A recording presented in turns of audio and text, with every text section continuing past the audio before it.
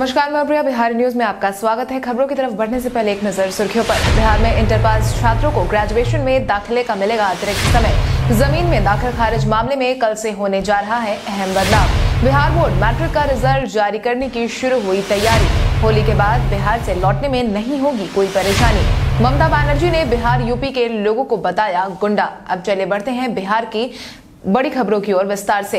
बिहार में inter pass छात्रों को ग्रेजुएशन में दाखिले का मिलेगा अतिरिक्त समय। बिहार बोर्ड ने बारहवीं के छात्रों का रिज़ल्ट जारी कर दिया है, लेकिन छात्रों को स्नातक के नए सत्र में एडमिशन लेने के लिए तीन महीने का अतिरिक्त इंतज़ार करना पड़ेगा। खबरों की माने तो तिलका मांझी, भागलपुर यूनिवर्सिटी की प्रक्रिया शुरू कर जल्द से जल्द स्नातक में नामांकन कराना चाहेंगे। इस तरह छात्रों के पास लगभग तीन महीने का अतिरिक्त समय बचा है। हालाँकि शिक्षकों ने इस दौरान सभी छात्रों से शॉर्ट टर्म कोर्स पर ध्यान देने की बात कही है, जिसके तहत सभी सभी छात्रों ने कंप्यूटर से जुड़े, सिल्क उद्योग से जुड़े या फिर कोई अन्य तरह के कोर्स की तैयारी करने की बात कही गई है। इसको लेकर विश्वविद्यालय भी अपने स्तर पर प्रयास शुरू कर चुका है।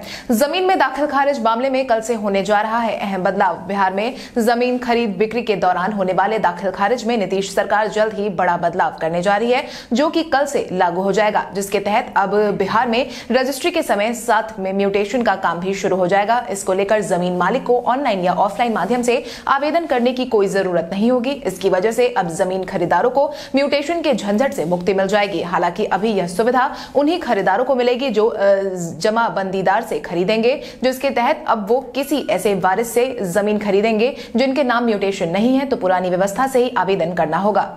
बिहार बोर्ड मैट्रिक का रिज़ल्ट जारी करने की शुरू हुई तैयारी। बिहार बोर्ड मैट्रिक परीक्षा के परिणाम की घोषणा जल्द से जल्द की जा सकती है। जानकारों की माने तो इस साल के परिणाम इस हफ़्ते जारी हो सकते हैं। इसको लेकर 26 मार्च को ही बारहवीं रिज़ल्ट को जारी करने के दौरान बिहार बोर्ड के अध्यक्ष आनंद किशोर ने संकेत दे दिए थे और बताया था कि मैट्रिक परीक्षा 2021 के परीक्षा फल अप्रैल के पहले सप्ताह में जारी किए जा सकते हैं, यानी कि 5 अप्रैल तक मैट्रिक रिज़ल्ट जारी किए जा सकते हैं। बोर्ड की माने तो मूल्यांकन का काम पूरा हो चुका है और फ़िलहाल उसे सर्वर पर अपलोड करने समय दूसरी महत्वपूर्ण चीज़ें की जा रही है। आपकी जानकारी के लिए आपको बता दें कि बिहार बोर्ड दसवीं परीक्षा दो हज़ार इक्कीस का आयोजन सत्रह फरवरी से चौबीस फरवरी दो हज़ार इक्कीस तक किया गया था।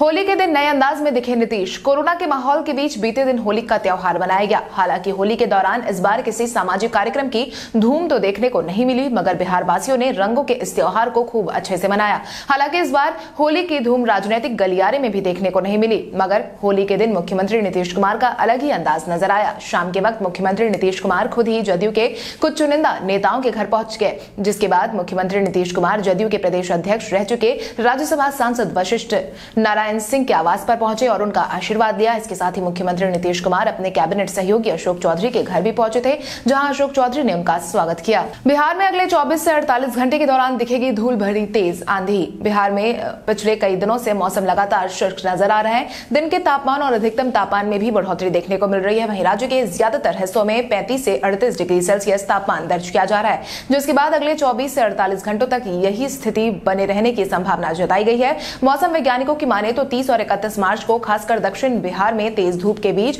उत्तर पश्चिमी या फिर पश्चिमी दिशा से हवा चलने की प्रबल संभावना है। इन हवाओं की गति 15 से 25 किलोमीटर प्रति घंटे हो सकती है। ये हवाएँ प्री मानसून की गतिविधि बना सकती है। साथ ही इन हवाओं से तापमान में परिवर्तन भी हो सकता है। लड़कियों को ईव टीजिंग जैसे मामलों से बचाने के लिए पटना हाईकोर्ट में पीआईएल दायर। बिहार में महिलाओं को ईव टीजिंग से बचाने के लिए सरकार ठोस नीति के साथ काम करने की तैयारी कर रही है, जिसको लेकर ही पटना हाईकोर्ट में एक जनहित याचिका भी दायर की गई है। मिली जानकारी के अनुसार इस मुद्दे को लेकर अधिवक्ता ओम प्रकाश कुमार ने यह पीआईएल दायर किया है। अधिवक्ता ओम प्रकाश कुमार ने अपनी याचिका में सुप्रीम कोर्ट के दिशा निर्देश का हवाला देते हुए कहा है कि इसका पालन करना सभी राज्य सरकार को ज़रूरी है। सुप्रीम कोर्ट ने सभी शिक्षण संस्थानों, गर्ल्स हॉस्टल, बाज़ार, सिनेमा हॉल, बस स्टैंड और सार्वजनिक स्थलों पर महिला पुलिस का दस्ता तैनात करने का निर्देश दिया था। होली के बाद बिहार से लौटने में नहीं होगी कोई परेशानी। होली का त्योहार खत्म हो चुका है। ऐसे में बिहार आए लोग घर जाने की तैयारी में है। हालाँकि कई लोगों को घर वापसी में ट्रेन में जगह नहीं मिलने की परेशानी का सामना करना पड़ता था, मगर इस बार ऐसा नहीं होने वाला है। भारतीय रेलवे ने यात्रियों की सुविधाओं को ध्यान में रखते हुए यह बताया है कि बिहार से गुजरने वाली ज़्यादातर ट्रेनों में अभी भी सीट भारी मात्रा में खाली है। रेलवे की माने तो कोरोना के कारण इस बार त्योहार के दौरान सफ़र करने वालों की संख्या में कमी देखी गई थी। यही कारण है कि वापस लौटने वालों की संख्या भी कम है, जिसके तहत अब सभी यात्री दिल्ली, मुंबई समेत सभी महानगरों में वापसी के लिए आसानी से टिकट कटवा सकते हैं।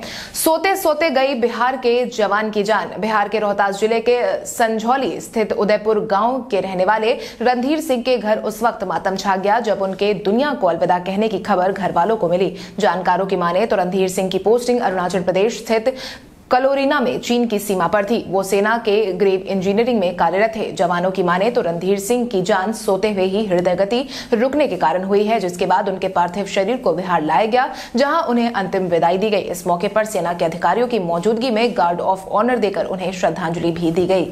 पथ निर्माण मंत्री नितिन नवीन की माँ मीरा सिन्हा ने दुनिया को कहा, अलविदा। होली त्योहार के बीच एक दुखद खबर सामने आई है। पथ निर्माण मंत्री नितिन नवीन की माता जी मीरा सिन्हा ने दुनिया को अलविदा कह दिया है। इस मौके पर उन्होंने बताया कि मेरी माँ हम सभी को छोड़कर चली गई है। वो मेरी ताकत भी थी और मेरी कमज़ोरी भी। मेरे अंदर संघर्ष की प्रेरणा थी। उन्होंने आगे कहा कि मेरी माँ ने काफ़ी कष्ट से हम सभी को इस मुकाम तक पहुँचाया है। माँ हमेशा ही मेरी यादों में जीवित रहेंगी। माँ है तो सारा संसार अपना है। माँ नहीं तो सब अनजान है। माँ ही मेरी पहचान है।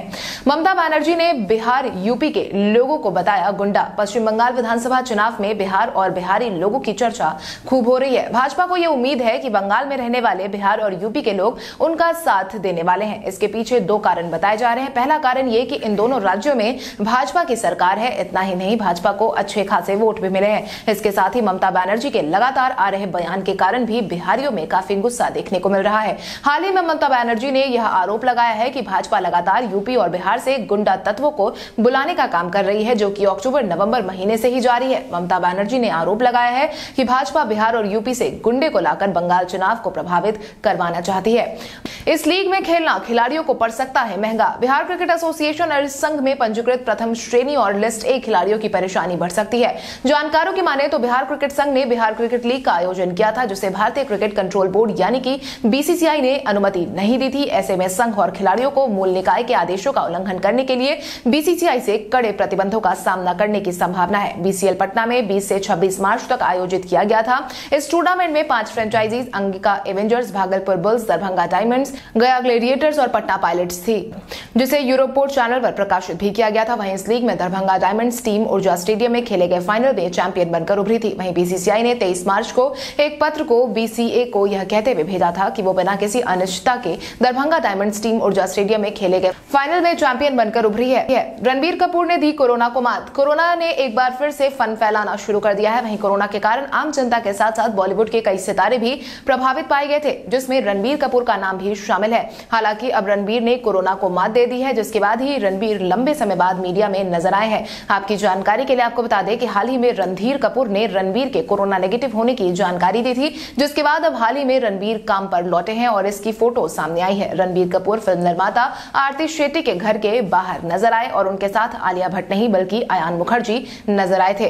देश में कोरोना के मामलों ने बढ़ाया डर। देश में कोरोना के मामलों ने एक बार फिर से रिकॉर्ड बढ़ोतरी देखने को मिल रही है। स्वास्थ्य विभाग की तरफ़ से बीते दिन के पिछले 24 घंटे में जारी किए गए आंकड़ों के अनुसार कुल मिलाकर छप्पन मामलों की पुष्टि हुई है, जिसके बाद प्रभावितों की संख्या एक करोड़ बीस लाख के पार पहुँच गई है। वहीं बीते 24 घंटे में दो लोगों की जान चली गई है, जिसके बाद अब तक कुल मिलाकर एक लाख लोगों की जान जा चुकी है। वहीं महाराष्ट्र की स्थिति सबसे ज़्यादा खराब नज़र आ रही है। महाराष्ट्र में बीते दिन के पिछले 24 घंटे में इकतीस मरीज़ पॉजिटिव पाए गए हैं।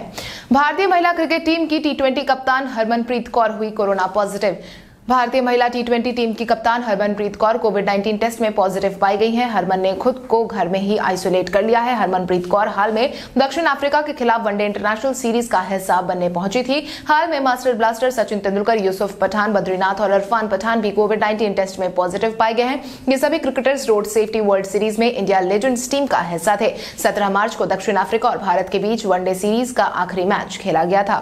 तो चलिए बढ़ते हैं आज के सवाल की और आज का सवाल कुछ इस प्रकार है। आपके अनुसार अनुसार कोरोना के बढ़ रहे माहौल के बीच बिहार सरकार का स्कूल कॉलेज खुला रखने का फैसला सही है या नहीं? अपने जवाब हमें कॉमेंट करके ज़रूर बताएँ। इसके साथ ही आज के लिए बस इतना ही।